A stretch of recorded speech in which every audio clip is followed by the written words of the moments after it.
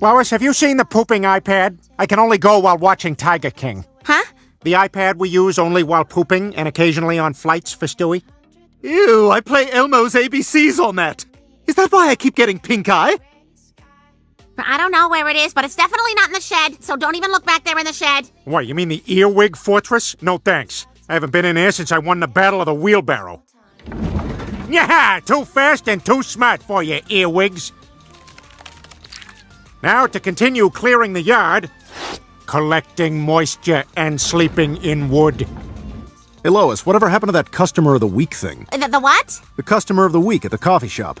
Did you ever win? Why? Why would you bring that up? What are you obsessed with it? Uh, you you had been talking about it. Oh, so you can hear me when I say that, but can't hear me when I say get off the couch. I like to be up by people. May I be excused to bring this plate of moisture to the crawl space?